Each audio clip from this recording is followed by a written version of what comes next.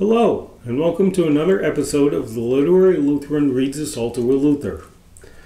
This episode is for Thursday, and today we read Psalm 77. The 77th Psalm is a psalm of instruction. The psalmist uses himself as an example of how to find comfort when affliction comes and the conscience is troubled as if God is angry with it. He says that he was so troubled that he could not have any sleep or even speak. But this comfort follows. The psalmist can fight off the thoughts with which he futilely suffered, and he can grasp instead the thought of the mighty works of God in the histories of old. Here we find that God's work was to help the miserable, the troubled, and the abandoned, and to throw down the self secure, proud scoffer, for example, when he delivered the children of Israel from Egypt.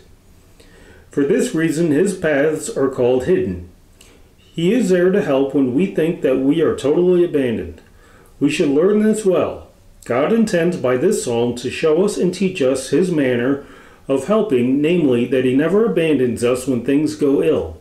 Instead, we should wait upon his help at that time with the greatest confidence and not believe our thoughts.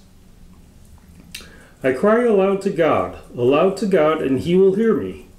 In the day of my trouble I seek the Lord. In the night my hand is stretched out without wearying. My soul refuses to be comforted. When I remember God, I moan. When I meditate, my spirit faints. You hold my eyelids open. I am so troubled that I cannot speak. I consider the days of old, the years long ago. I said, Let me remember my song in the night. Let me meditate in my heart. Then my spirit made a diligent search. Will the Lord I'm sorry, will the Lord spurn forever and never again be favorable? Has his steadfast love forever ceased? Are his promises at an end for all time? Has God forgotten to be gracious? Has he, in anger, shut up his compassion? Then I said, I will appeal to this, to the years of the right hand of the Most High. I will remember the deeds of the Lord. Yes, I will remember your wonders of old. I will ponder all your work and meditate on your mighty deeds. Your way, O God, is holy. What God is great like our God? You are the God who works wonders. You have made known your might among the peoples. You with your arm redeemed your people, the children of Jacob and Joseph. When the waters saw you, O God, when the waters saw you, they were afraid. Indeed, the deep trembled. The clouds poured out water, the skies gave forth thunder, your arrows flashed on every side. The crash of your thunder was in the whirlwind.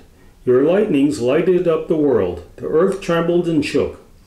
Your way was through the sea. Your path was great waters, yet your footprints were unseen. You led your people like a flock by the hand of Moses and Aaron. Glory be to the Father, and to the Son, and to the Holy Spirit, as it was in the beginning, is now, and will be forever. Amen. This has been the Literary Lutheran Reads the Psalter with Luther, and I wish you all a blessed day.